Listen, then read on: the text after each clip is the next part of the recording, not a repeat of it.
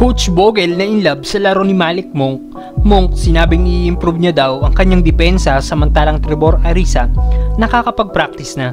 Makakalaro na kaya? Halina't pag-usapan natin yan mga brother pero kung bago ka lang sa channel, eh huwag niyo pong kakalimutan mag-subscribe for more Lakers videos. Salamat po. Isa nga po si Monk sa dahilan kaya natambakan at natalo ng Lakers ang Kings noong isang araw dahil sa kumana nga po ito ng 22 points, 4 rebounds at 4 assists. Patunay na isang threat si Monk pagdating sa opensa at maaasahan ng team pagdating sa puntos.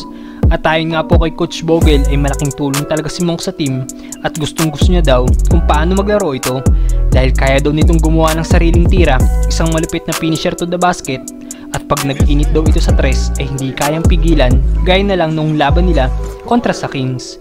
Pero ayon nga po kay Monk ay hindi pwedeng basta umasa na lang siya sa kanyang opensa at kailangan niyang trabahuhin ang kanyang kahinaan at ito ay ang depensa para mas mabigyan daw siya ng mas mahabang minuto. Inamin din ni Monk na minsan tinatamad siyang dumipensa pero kailangan niya itong gawin para manatili siyang nasa loob ng court.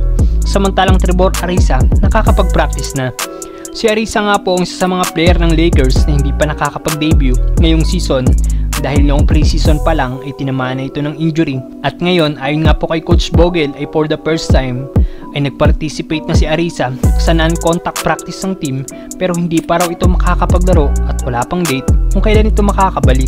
Pero magandang senyalis daw ang nagagawa na nito ngayon. Sa pagbabalik nga po ni Arisa ay mas magiging solid ang depensa ng Lakers dahil sa defensive ability nito dito na po natatapos ang ating video mga brother. Huwag niyo pong kakalimutan mag-subscribe for more Lakers videos. Salamat po.